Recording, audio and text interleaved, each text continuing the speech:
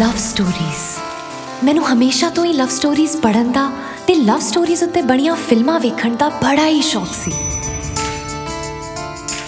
ਸੋਚਦੀ ਸੀ, ਮੇਰੀ ਜ਼ਿੰਦਗੀ ਵਿੱਚ ਇਹਨਾਂ ਲਵ ਸਟੋਰੀਜ਼ ਦੇ ਹੀਰੋ ਵਰਗਾ ਕੋਈ ਮੁੰਡਾ ਜ਼ਰੂਰ ਆਏਗਾ।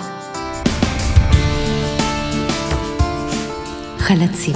ਰੱਬ ਨੇ ਆਪਣੇ ਹੱਥੋਂ ਇੱਕ ਲਵ ਸਟੋਰੀ ਲਿਖੀ ਸੀ। ਸਾਡੀ ਲਵ ਸਟੋਰੀ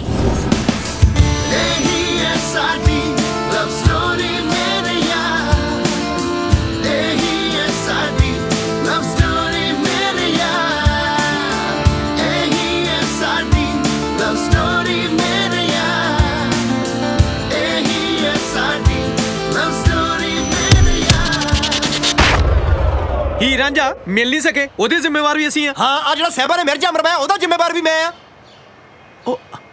ਅੰਟੋ ਸਟੋਰੀ